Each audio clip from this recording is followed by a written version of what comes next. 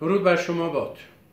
خب نکته دیگری که من بایستی که خدمت شما امیهنان عزیزم عرض کنم راجع است به مسئله هجاب اجباری و موضوعاتی که چند هفته اخیر به وجود آمد. آقای رئیسی دارای سابقه مشخصی است. من در جای دیگه توضیح دادم. ایشون عضو کمیته مرگ بوده. یعنی بیرحمانه هزاران تن انسان رو به جوخه های مرگ فرستاده. سالیان زیادی به اسم قاضی و به عنوان رئیس قوه قضاییه بوده و یک فرد قسم خورده است. یک فرد قسم خورده برای حفظ جمهوری اسلامی به هر قیمت. چون آیت الله خمینی گفت حفظ نظام از اوجب واجبات است. او گفت حتی برای حفظ نظام می شود نماز را هم تعطیل کرد. حج را هم تعطیل کرد کما اینکه حج رو تعطیل هم چند سالی کرد. آقای رئیسی یک عنصر سوگند خورده است. یعنی برای حفظ جمهوری اسلامی حکم اعدام نه یک تن و دو تن و ده تن که هزاران تن داده. خب اینو که ما می‌دونستیم ایشان فرد بی سوادی است شش کلاس درس خونده. شما نگاه کنید شش کلاس. این را ما می‌دانستیم. اساسا نه مدیر است و نه توانمندی خاصی دارد. به دلیل همین قسم خوردگی و بیسوادی و ناتوانی این رو آقای علی خامنه ای انتخاب کرد به دفترش و به دستندرکاران گفت بروید این آقا را بیاورید آگراندیسمان کنید تبلیغ کنید و این را از صندوق در بیاورید این بشه رئیس جمهور. برای اینکه دستگاه حاکم زیر نظر علی خامنه ای از سردن دستن در کاران سپاه و نمی‌دونم مافیا و نیروهایی که گرداگرد اونها هستند هر دستوری می‌دهند اجرا شود. مو دماغ هم نداشته باشد. حالا روحانی و خاتمی و دوره آخر احمدی نژاد در حد موی دماغ بودند. موی دماغ. این موی دماغ هم نباشه.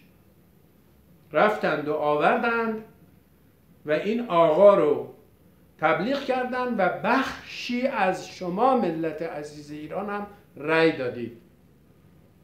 حالا ولو به هفت میلیون. هفت میلیون خیلی رأیه. بگیم از این هفت میلیون سه چهار میلیونش هم مال خود حکومتی ها باشه. دو سه میلیون رأی دادید. الان که میاد توی خیابان میگید رئیسی دروغگو عمل به وردهات کو معناش اینه که شما به قول رئیسی باور کرده بودید. وگرنه مگر می‌شود آدم بیاد به رئیسی رأی بده به قول رئیسی اعتماد کنه؟ مگه میشه این چیزی؟ خب معلومه بخشی از شما رأی دادید بهش که الان ازش عمل می‌خواید دیگه. غیر از اینه؟ خب. یکی از معمولیت های آقای رئیسی این بوده و این هست که بنابر فرمان علی خامنه ای اینترنت رو کند کنه. اینترنت ملی ایجاد کنه یعنی رس... یعنی ارتباط جهانی اینترنت آزاد تبادل خبر و اخبار آزاد رو قطع کنه. بگیره در دست سپاه پاسدار. یکی از معمولیتاش اینه. دیدید از وقتی که آمده چه وضعی برای اینترنت ایجاد شده؟ یکی از معمولیت هاش هم ای برقراری هجاب اجباری است.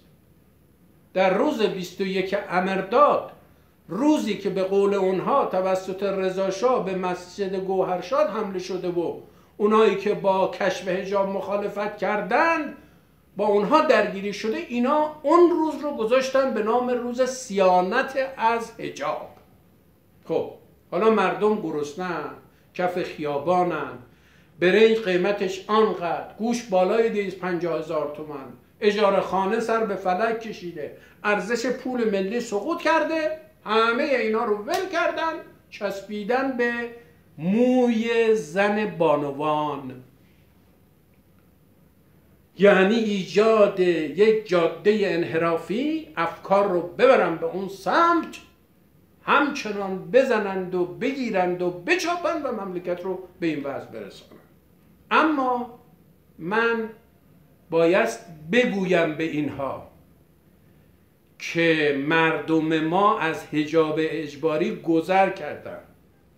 شما برید تو این کوچه و خیابون ها خودتون هم گول نزنید. خود شما مله ها دارید می‌بینید. حتی همون قوم خودتون. همون قوم خودتون. به قول خودتون قوم المقدسه. در همون قوم المقدسه خودتون به قول خودتون ببینید چه خبره. تا بقیه شهرها. مشهد رو هم که من پوزش می‌خوام از مشهدی های عزیز. مشهد رو هم که خودتون رسما تبدیل کردید بخشش رو به فاحش خونه برای عرب ها وقتی که شما میاید او آقایی که حاکمه در خراسان به اسم علم الهدا مثلا میاد میگه که ثواب داره که زنان ایرانی همبستر بشن با اونایی که از عراق میان یعنی ترویج فحشا. اون وقت شما می‌خواید که بانوانی که پوشش اجباری رو قبول ندارند با زور می‌خواید بگید پوشش داشته باشید؟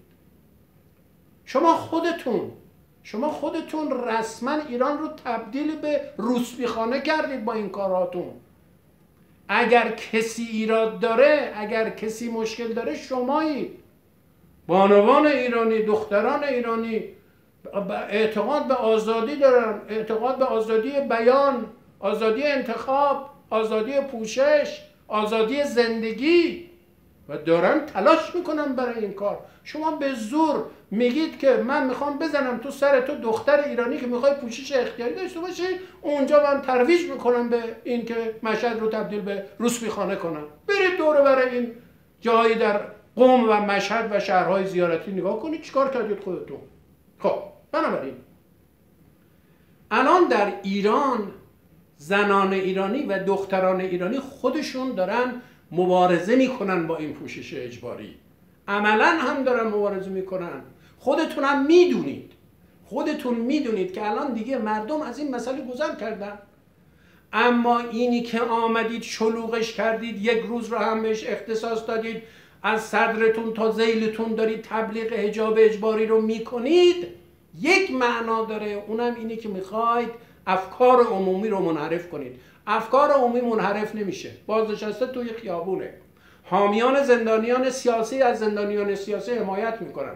مادران دادخواه رو شما حبس کردید به جرم اینکه از پوشش آزاد دفاع کردن با زندان کردن اونها فقط و فقط خودتون رو رسواتر می‌کنید. و شعن اونها رو با اعتبار اجتماعی اونها رو بالاتر می‌برید. هیچ کس از مردم در این مسئله ضرر نمی‌کنه الا خودتون و نیز اون بخشی که غافلن. که امروز دستن در کاران رژیم که ناتوانن از تأمین معیشت مردم از تأمین خواسته های مردم که به هیچ وجه نمی کنن و نخواهند کرد آمدید یک جاده انحرافی درست کردید. دستن در کاران حکومت. بارها و بارها به شما گفتیم و می‌گوییم. با این کارهاتون با این زورگویی ها با این بگیر و ببند ها با این فساد ها اون وقت برمیدارن چیکار می‌کنن؟ روزی که به اسم قدیر خم گذاشتن در روزی که به اسم قدیر خم گذاشتن در تهران ده کیلومتر رو تزئین می‌کنن و تجمل می‌کنن و پول این ملت بیچاره رو به هدر میدن و جالبه که دوباره دخترها و بانوان ایرانی میان در همین جاهایی که همین حکومتی ها ایجاد کردن به اسم عید قدیر همونجا هم روسری رو برمیدارن همونجا هم به شماها دنکجی می‌کنن. همونجا هم به شما میگن میگن شما ملت گرسنه ملت فقیر ور میدارید. به اسم این ملت جشنهای حکومتی درست می‌کنید. برای اینکه قدرت خودتون رو به رخ مردم بکشید اما همون مردمی که ولو این که فقیرن میان در اونجا شرکت می‌کنن رو سریاشون هم برمیدارن. یعنی حکومت زوری دین زوری هجاب زوری جواب نداده جواب نمیده. به خودتون بیاید که نمیاید و ملت ایران این مسیر رو انتخاب کرده با قدرت و با قوت پیش میره. بهترین راه همین هم عزیزم.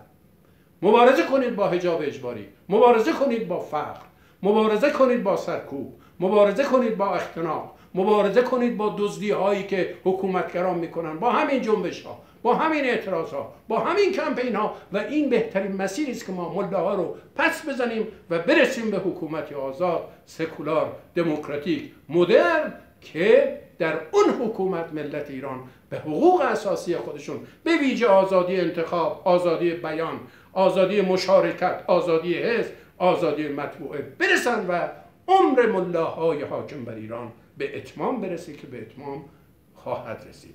پاینده باشید و بدرود.